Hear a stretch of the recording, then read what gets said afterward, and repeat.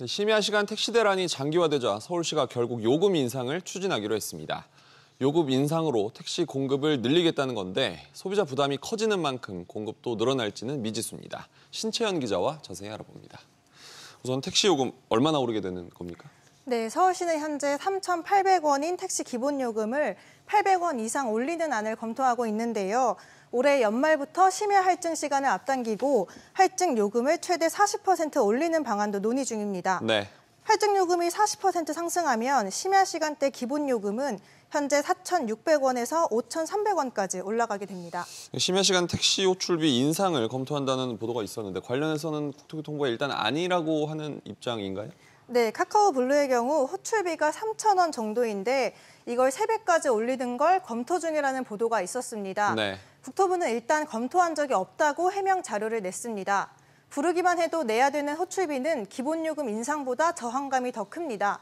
오른 호출비를 카카오와 택시회사 그리고 택시기사에게 어떤 비율로 배분할지도 복잡한 문제입니다. 네. 실질적으로 요금을 좀 올려줘야죠. 지금 뭐 100대 있으면 30대도 운행을 안 하고 있는데 기사가 늘어야지 택시 운행률이 많아지기 때문에 택시 잡기가 힘들어지지가 않아지는 거죠. 국토부 관계자는 호출, 호출비 인상과 심야 시간대 요금을 탄력적으로 운영하는 방안을 검토 중이라고 설명했습니다. 소비자 입장에서는 택시 난을 요금 올리는 것만으로 해결하는 게 과연 맞냐 이런 지적도 있을 수 있잖아요. 네, 택시 공급을 늘리기 위해 우버 같은 서비스를 도입하자는 의견도 적지 않습니다. 앞서 원희룡 국토부 장관이 관련 가능성을 언급한 바도 있습니다. 네. 우선 순한 맛은 뭐냐? 탄력요금 드리고요. 우버식으로 자가용 영업을 아예 허락할 거냐? 그거는 폭탄 맛에 해당하는 거기 때문에